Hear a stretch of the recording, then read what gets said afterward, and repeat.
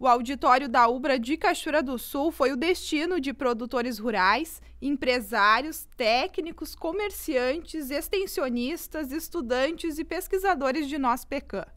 O Carlos Martins é um deles. Veio ao segundo simpósio sul-americano de nosso PECAM para falar dos desafios da pesquisa na cultura. É, o zoneamento edafoclimático da Nogueira Pecan né, para a região sul do Brasil, né, não só para o Rio Grande do Sul, mas para a região sul do Brasil.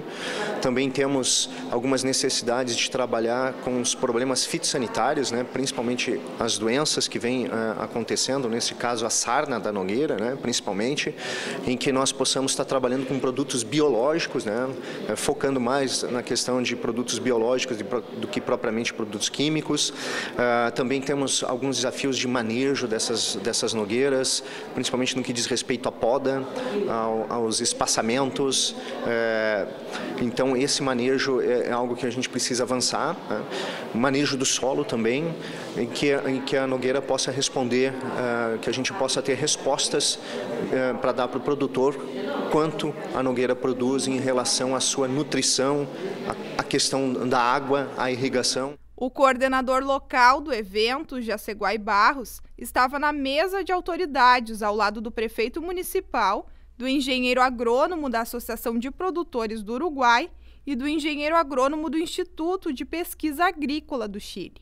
E esses pesquisadores, através dos contatos que têm com empresários e com produtores do setor, né, é, fez com que eles também se mobilizassem para a via. O nosso interesse é reunir o que tem de mais é, moderno, de mais atual em termos de conhecimento. E por isso, então, trouxemos é, as representações dessas instituições, assim como também né, o principal polo de produção, o principal polo de geração de tecnologia, que é os Estados Unidos. Trouxemos também né, um professor da Universidade de Auburn, que, né, na Geórgia, que vai eh, nos eh, transmitir né, muitas coisas sobre questões técnicas e questões de mercado da PECAM.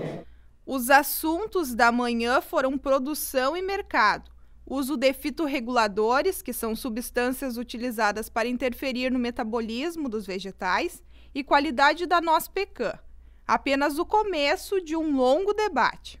Ah, participando do evento, né, é, tanto hoje como amanhã, na abertura oficial da colheita, os produtores terão não só as informações técnicas e informações sobre o mercado, como também o trabalho de empresas gaúchas né, é, e de fora que estão produzindo né, é, materiais, equipamentos, insumos para atender as necessidades dos produtores e assim dar mais suporte técnico, suporte né, que dê a garantia de que o seu empreendimento vai ser né, é, sustentável e rentável.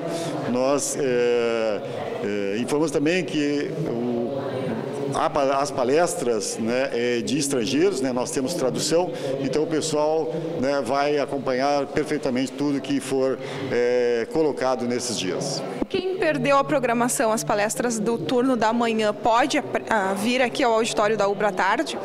Sim, quem ainda não teve oportunidade de vir, venha, poderá vir hoje à tarde e participar da sessão de tarde, bem como comparecer também amanhã lá na Pecanita, onde vai ser realizada a abertura da colheita. Né? Ficam todos convidados a participar. A inscrição nós temos aqui na entrada do prédio aqui, né? hoje com toda a programação de hoje, mais né, os coffee breaks e mais a participação e almoço amanhã, são 100 reais. E amanhã é apenas o almoço que lá fora, para quem for almoçar, a 30 reais. O coordenador da Câmara Setorial falou da inclusão da nossa pecan na lista de culturas do Ministério da Agricultura, demanda apresentada no simpósio do ano passado, em Antagorda. O crescimento da nossa PECAM foi surpreendente até para o governo do estado nos últimos 10 anos, né? E isso fez com que agora, dois anos atrás, o governo lançasse o programa estadual ProPECAM, que é um programa que visa o desenvolvimento da cultura de uma forma harmônica e sustentável. Então, nesse aspecto, né, Cachoeira do Sul já era o maior produtor, agora outros municípios estão crescendo. Né? A ideia é justamente que o programa traga benefício aos produtores de que forma? Cadastrando viveiros de boa qualidade, fazendo uma integração da pesquisa com assistência técnica para oferecer mais informações aos, aos produtores.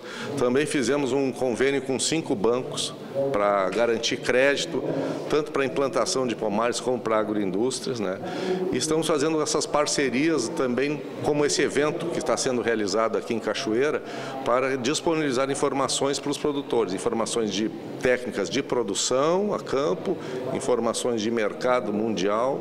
Por isso também esse esforço dos empresários de Cachoeira, dos produtores, da prefeitura, de trazer palestrantes de várias partes do, da América, inclusive dos Estados Unidos. Esse é um momento fundamental de a gente compartilhar informações, né, que nós chamamos de intercâmbio de experiências, não só entre pesquisadores e produtores, mas os produtores entre eles mesmos, né, e também trazendo a experiência dos nossos, eh, eh, dos nossos vizinhos, né, os produtores uruguaios, os produtores argentinos, os chilenos, que eles têm nesse momento aqui para compartilhar essas dificuldades, os desafios, como eles estão fazendo para resolver determinados problemas que acontecem na sua produção. Então esse é um momento único em que Cachoeira do Sul cedia eh, esse evento e essa oportunidade.